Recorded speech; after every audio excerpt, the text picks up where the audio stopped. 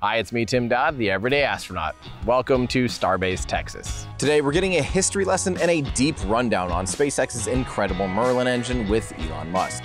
This engine is one of the most reliable rocket engines to date, and it's at the heart of SpaceX's current workhorse, the Falcon 9. If you want to know how SpaceX's Falcon 9 rocket compares to their upcoming Starship rocket, don't forget to check out my video about exactly that.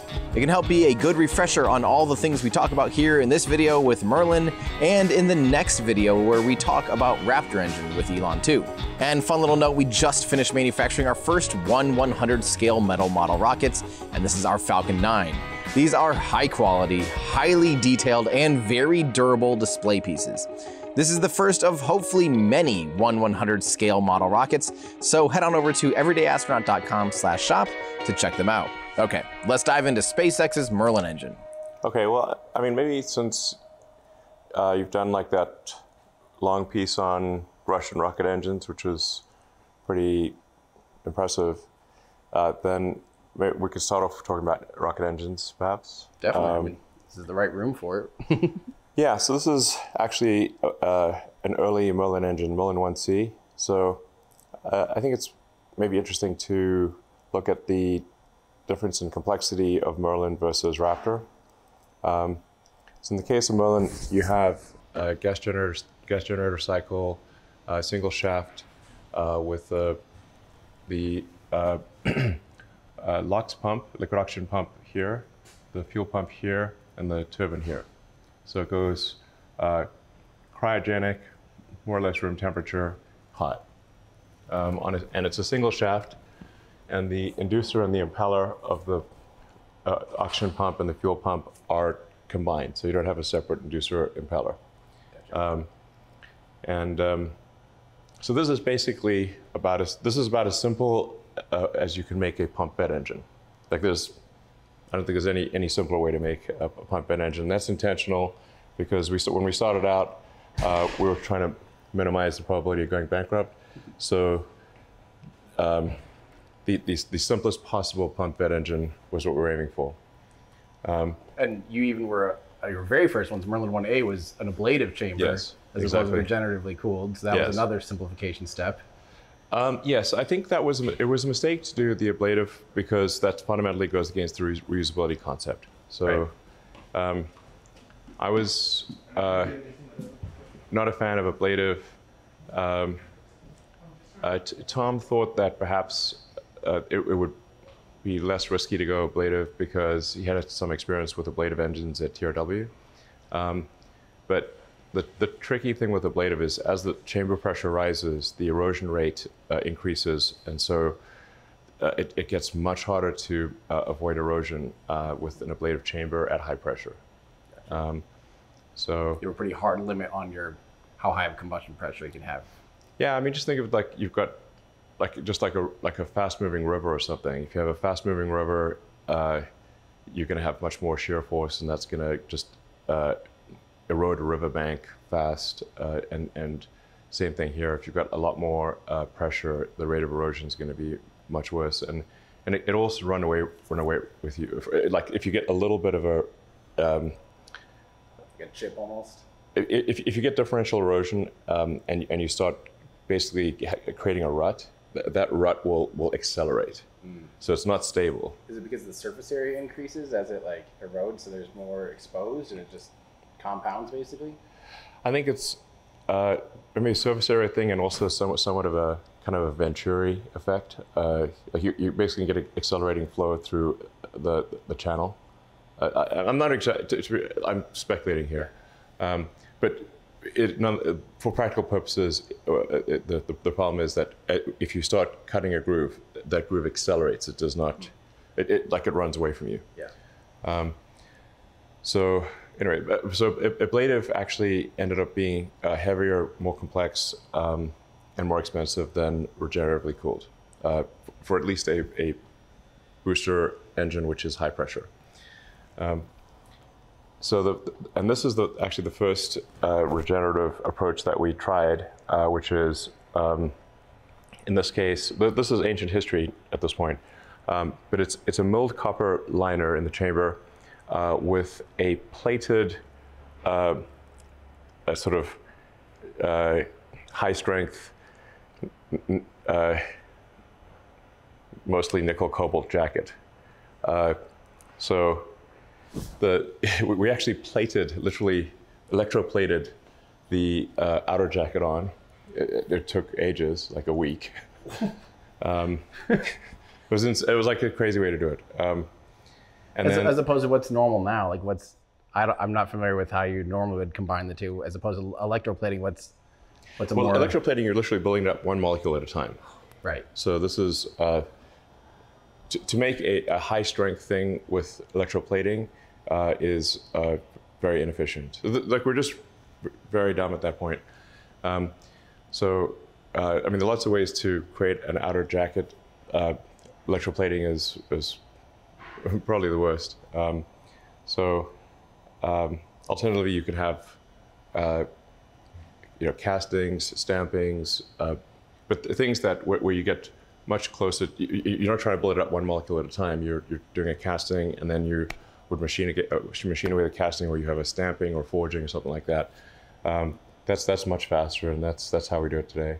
Um, and then the nozzle was spiral wound uh, steel tubes. I always wondered about that. And is that is that supposedly easier because as the diameter changes, you don't have to worry about the the individual channels changing their yeah. shape?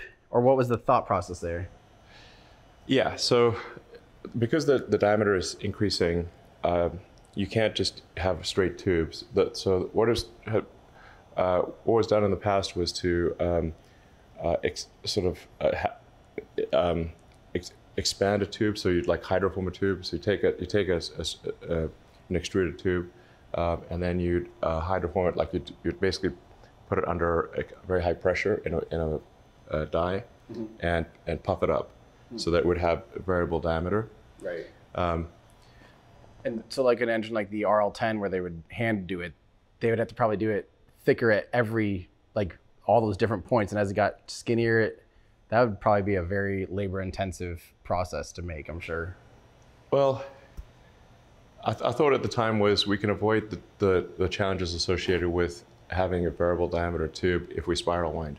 Mm-hmm. Um, you know, it's basically like how you might make a, wick, a wicker chair or something like that. Mm-hmm, mm-hmm. Um, and so, uh, now this this ended up being an expensive and painful thing, and a lot of challenges with this joint here, um, where the where you go from the, the milled copper wall to the the tube wall. You've got a hot gas seal there, uh, and that, that gave us a lot of trouble. And this is the regenerative manifold here. Um, yeah. So. Um, so what was? Uh, I guess what? Why did you end up moving away from a spiral wound like that? Because it looks, at least looks cool. Uh, it, it was. Uh, it, well, well we, we basically, for Merlin, moved to having the chamber and the jacket be, um, a chamber and the nozzle be um, mold copper uh, with a steel, steel jacket. Um, and, uh, and, and we, we just welded the, um, the you know, oh. welded all the parts, so we did not have a hot gas uh, seal that was problematic. Um, so, so in 1D, you just made it all one piece yeah. or two pieces, and then come to one we, we essentially we, we, we welded uh, the, the copper liner uh, on the inside together, and and so that like it's just there, there's no hot gas seal. There's, that's an important part. Um, and overall, it ended up being, um, all things considered, lighter and lower cost and and better basically in every way than the Merlin 1C. Um, now, remind me there's always a rumor that the reason the first uh, your first Falcon 9 when it took off kind of like a 45 degree turn there's two rumors there's two theories one was that the, the spiral actually induced some kind of torque to the engine that you hadn't noticed and the other is that the gas generator was tilted in a way that induced a little bit of additional roll what was the what's the actual answer I think we didn't quite zero out the. Uh, I think we, we had a, sl- a, little bit of an angle on the engines. Uh, so the we, we thought we were at zero and we weren't.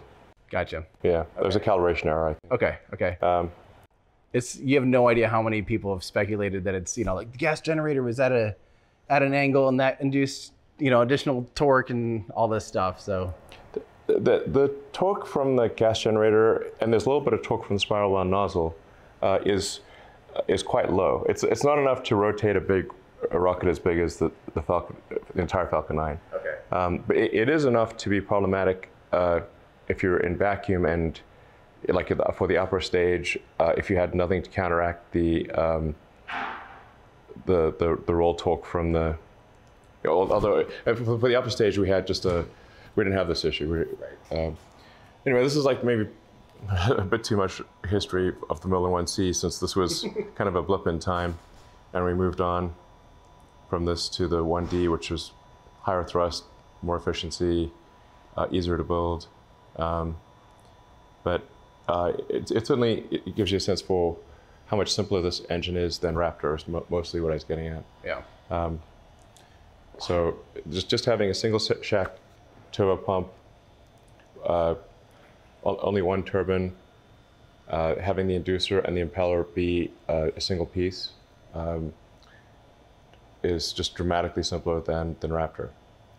Um, so I'll, you know we can go from here to Can you help point out real quick though where the like how the the pintle injector on this is Yeah. right at the very top of the chamber? Obviously, how does that get? I never understood how that gets controlled. But So a, a, a big improvement we made with the Merlin 1D uh, was to have face shutoff for the pintle injector. So that uh, that's actually another great uh, simplification. Uh, that the injector itself is the, uh, serves as the uh, oxygen fuel main valves. So the it's, it's sort of like, almost like a like a think of it like a lawn sprinkler.